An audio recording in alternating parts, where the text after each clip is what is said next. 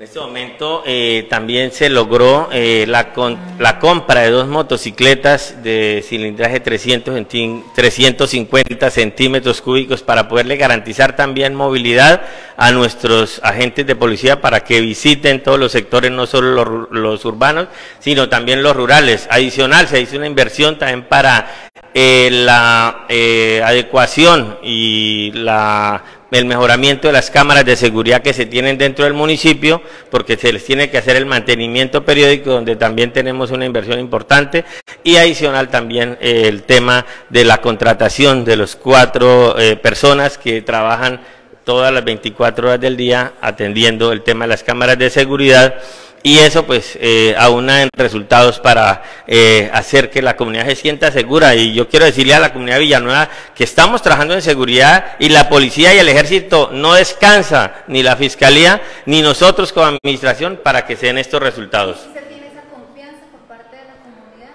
¿Se refleja eso en los procesos que se han realizado en el municipio?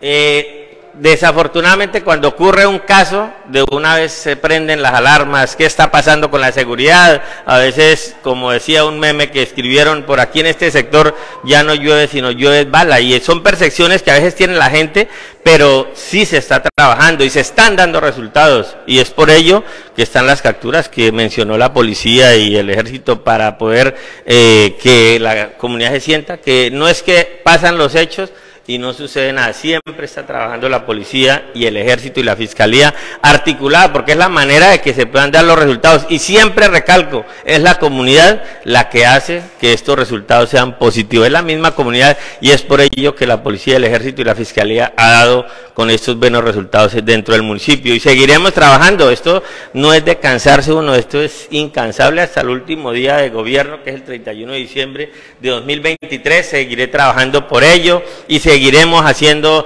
labores de trabajo donde hemos venido con la policía y el ejército en campañas de acercar a las instituciones con la comunidad, donde llevamos saltarines, llevamos juegos, donde llevamos estrategias para que la comunidad sienta esa confianza de interactuar con las instituciones como la policía el ejército y por supuesto la administración.